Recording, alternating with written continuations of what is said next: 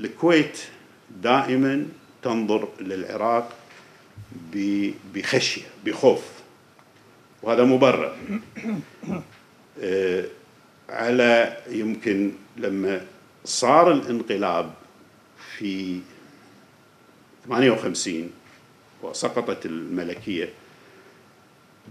أول من زار العراق كان الشيخ عبد الله السالم مهنئا. ليش؟ لأن كان في ضغط على الكويت كانت العراق في وقتها ملكية ونوري السعيد هو الزعيم المحبوب عند البريطانيين والكويت تحت الحماية البريطانية.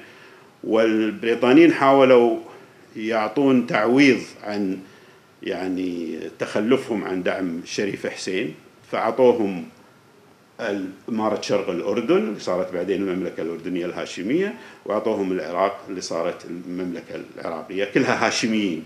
فسووا شيء يسمونه الاتحاد الهاشمي العربي. الاتحاد الهاشمي العربي نظام شبه فدرالي الكويت تكون تكون هي الجزء الآخر. والله كانت هذه الفكرة تنجح. كان في خلاف من خلال الوثائق بين البريطانيين إنه إي أو لا. وبالنهاية الرأي اللي هو معارض هو اللي آه، صار أرجح. ثم حدث الانقلاب وجاء عبد الكريم قاسم. فالكويت كانت الانقلاب على الملكية في العراق. كان خبر جود نيوز خبر جيد. أدى يروح عبد الله السالم مباشرة. لما صار الانقلاب في الثلاثة وستين على عبد الكريم قاسم على طول كان مجلس الأمة موجود.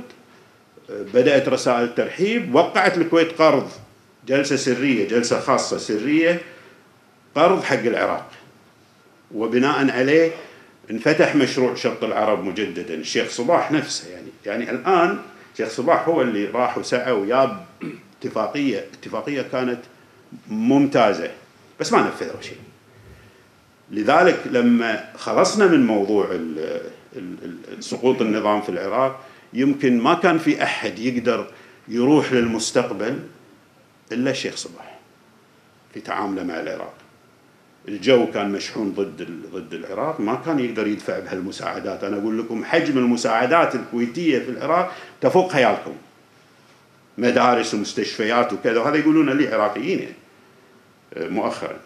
وبالتالي ما في إلا هاي الطريقة ولذلك القرار الأخير قرار المحكمة هذا أول مرة يصدر قرار بخصوص الكويت ضد الكويت خلينا من التفاصيل مو وايد مهم مو وايد مؤثر من ناحية القانون الدولي أو لكن يحدث انقسام داخل العراق. أول مرة نشوف علنا في انقسام داخل العراق. مو الكل مو الكل قاعد يجرؤ.